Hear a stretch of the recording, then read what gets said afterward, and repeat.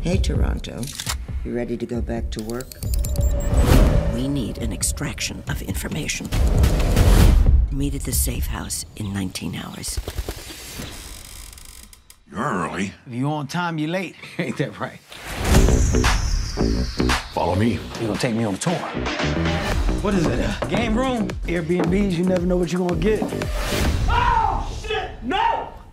Who is that? This is the man from Toronto, I'm so, wait, what? I'm the man from Toronto. and he's here to torture you. Why in God's name were you in that cabin? They wanted me to be the guy that you guys are looking for, but I'm not that guy, but I had to act like I was. Oh, you want this? No. They wanted me to torture the guy. I'll dig these goddamn thumbs in your eyes and I will love it! What's that?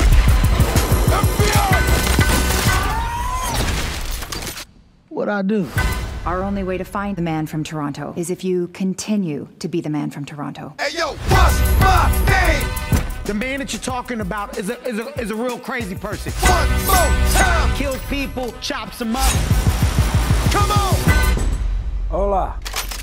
I am the man from Toronto. Objection. No, I'm the man from Toronto. Oh, ah! This is on you. Hey, yo, what's my name? My clients think you're me, so you're gonna complete the mission, but you have no idea what I'm gonna do to you.